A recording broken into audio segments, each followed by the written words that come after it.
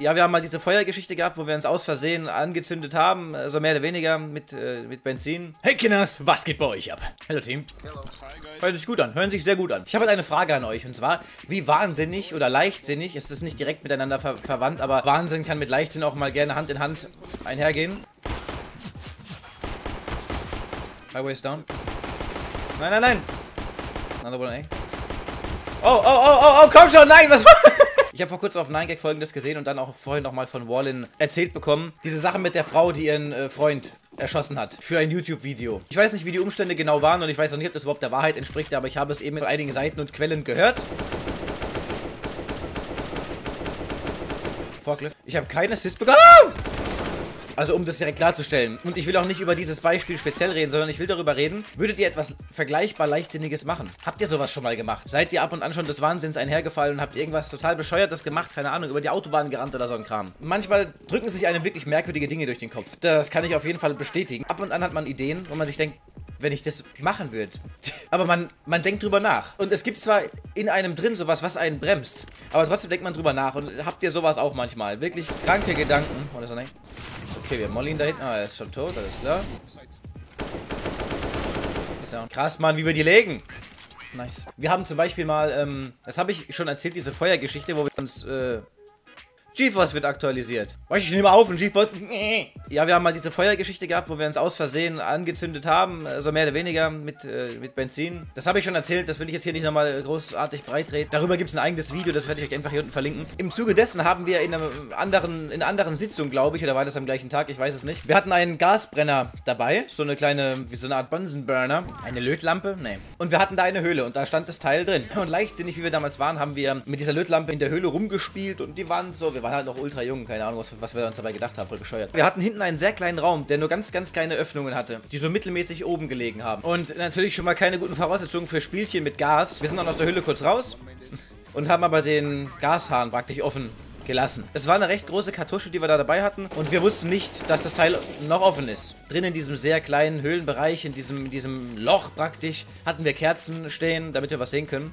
Und das Gas strömte die ganze Zeit aus. Ich bin dann irgendwann rein, um was aus meinem Rucksack zu holen. Da standen auch unsere Rucksäcke. Und ich komme rein und rieche einfach dieses, dieses Gas. Und denke mir nur, oh, shit. Ich befinde mich in diesem Raum, voll mit Gas und Kerzen stehen da. So auf Kopfhöhe. In so kleinen Kerben. Das war alles Sandstein, diese Höhle. Auch total bescheuert. Und wir haben da drin in der Höhle gebuddelt. Wahnsinn eigentlich. Und ja, voll mit Gas und Kerzen. Ich habe natürlich sofort den Brenner ausgemacht. Kerzen aus, Taschenlampe. Scheiße. Leute, da drin. Gas.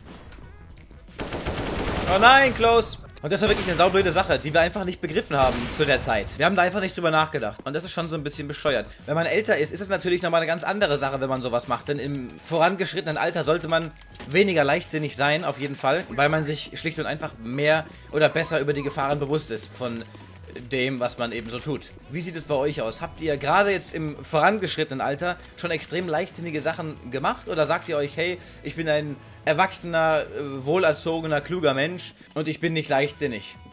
Oder so. Fuck, One Forklift. Jetzt habe ich gerade den Faden verloren. Ich wurde kurz angerufen, als ich äh, eben gestorben war. Habt ihr sowas schon mal gemacht? Lügt nicht! Ich weiß es. Ihr habt das alles. Täglich macht ihr sowas. Die ganze Zeit. Ihr leckt an Hunden oder sowas. Ich weiß es nicht. Was, was kann man leichtsinniges machen? Hunde beißen. Ihr beißt Hunde. What? Ist dieses äh, Level-System in CSGO selbst, dieses Major und äh, General und was weiß ich, ist es auch von den Sternchen und von den Punkten abhängig? Ich muss nämlich endlich Level 21 kommen, damit äh, Forklift ist down. Wir geprimed spielen können. Oh shit. Fuck. Die Matchmakings machen nämlich keinen Spaß, sobald man merkt, dass wir wirklich, wirklich, wirklich einen Cheater gegen uns haben oder äh, zwei oder drei Cheater gegen uns haben, weil wir eben Prime spielen. Das ist dann nicht so edel und ich will ja, dass die Viewer Games, wenn wir Livestream machen und alle zusammen am Pimmeln sind, dass es da auch gut reingeht, ja, dass wir eben nicht äh, Kackwürste am Start haben als Gegner, sondern äh, wirklich gemütlich spielen können. I'm gonna plan for a main. He's on City spawn. Jawohl, dude. Und deswegen muss ich ganz schnell aufleveln auf 21. Mir wurde gestern gesagt, man könnte es in drei Stunden schaffen, auf Level 21 zu kommen. Könnt ihr das bestätigen? Es hieß, wenn man drei Stunden durchspielt, äh, auf bestimmten Modi, ich glaube es war Gun Game oder, ähm, also Arms Race oder sowas, dann sollte man oder würde man es sehr schnell schaffen, auf Level 21 zu kommen. Ich dachte, es dauert ein bisschen länger. Wobei ich es nur sehr schwer einschätzen kann, denn ich habe mit meinem zweiten Account eben noch nicht so viel gespielt. Der ist close wieder, der Sack. Auf. Ja, ich wusste es.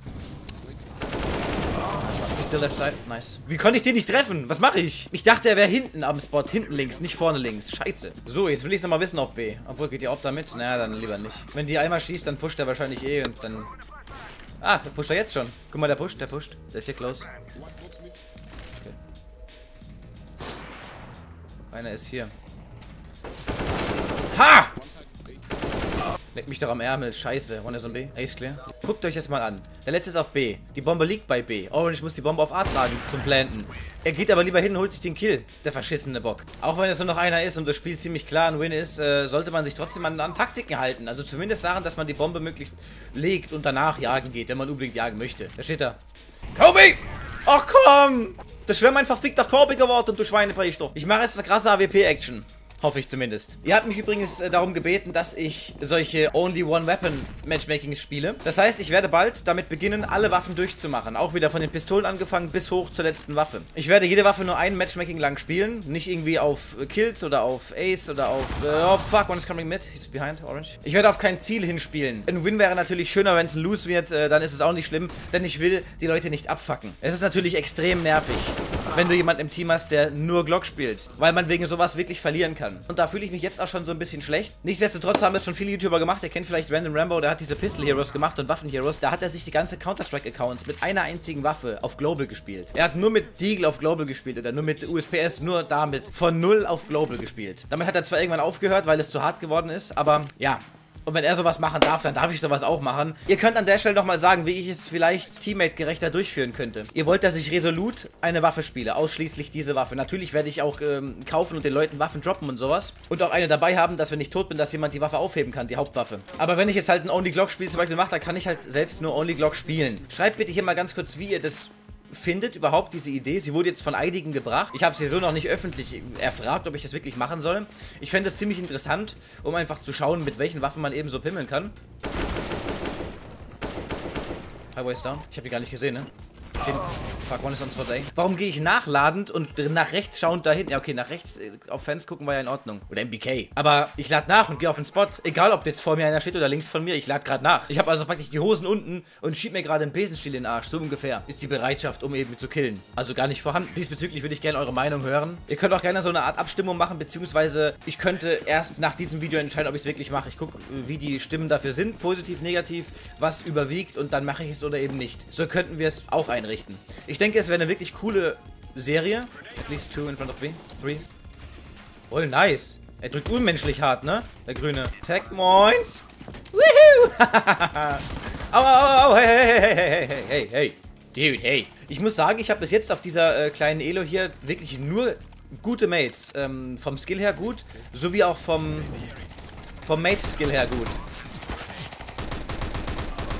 So, also ich bin da manchmal beschissener unterwegs, so wie gerade eben. Ich habe den Kollegen echt blöd sterben lassen, aber ich habe halt auch gerade wieder eine Nate in der Hand gehabt. Wie immer, ihr kennt mich ja, Utility-Meister und sowas. Oh my god, there is a gun.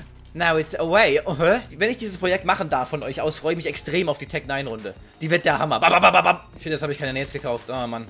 Aber dafür Cash Lieblingsmap. Voila. Es ist sowas von cool hier mit den Mates. Es ist so lässig. Die callen, die sind total gut drauf, gut gelaunt. Oh. Achtung. Jetzt komme ich drauf geballert und ich bin einfach tot. Ja, Muller, du Bock. Das ist jetzt doch nicht möglich. Ich dachte, jetzt mache ich einen Ace mit den letzten dreien. Wisst ihr, was ich jetzt mache? Schweinig, wie ich bin. Ich komme zu euch und mache euch kaputt. Oh yeah, die killen sich gegenseitig. Oh shit. Oh mein Gott. Was? Das war wirklich jetzt fucking weak. Warum kommt der denn einfach? Da will ich mein Negev-Skill rauskloppen und dann sowas. Fucking lächerlich.